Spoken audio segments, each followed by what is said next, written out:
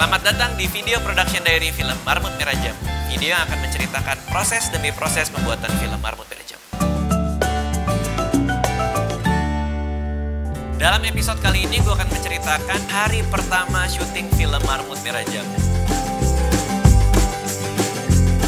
Buat gue ini pengalaman yang deg-degan banget karena ini pertama kalinya gue menyutradarai film layar lebar. Satu persatu pemain datang. Seperti biasanya kalau di lokasi pemain kalau datang itu langsung make up. Ini lagi persiapan buat syuting, make up, hairdo segala macam. Hari pertama nih, doain ya lancar. Ada yang datang mungkin karena waktu itu juga lagi hujan dan banjir. Ada beberapa pemain yang telat. Tapi biasanya kalau mereka datang mereka langsung ke sana dan mereka nunggu. Beberapa ada yang ngobrol, ada yang nyolong tidur, ada yang menghilang di kegelapan kayak Julian karena dia gelap sekali.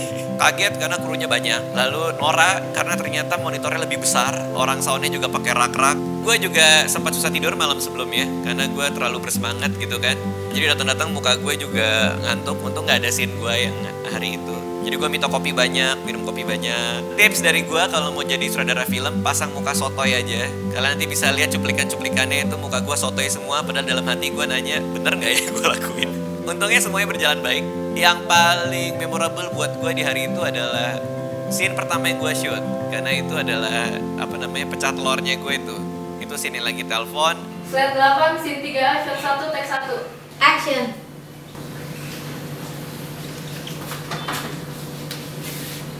Halo, lo mau jadian sama gue gak? Enggak.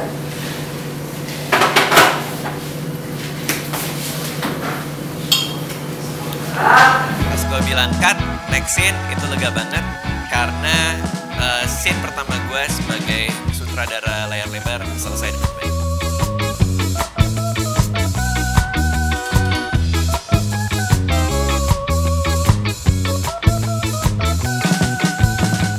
Kami moving juga, moving itu artinya pindah lokasi ke set-set berikutnya. Sempat ada beberapa improv di lapangan. Gua kalau lagi ngedirect emang suka banyak menemukan pengembangan-pengembangan di lapangan.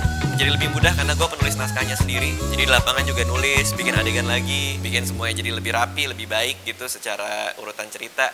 Scene yang paling ngakak hari itu adalah scene Julian Liberty kesetrum. Buat gue, gue seneng banget apalagi ternyata dia sempat kesetrum beneran.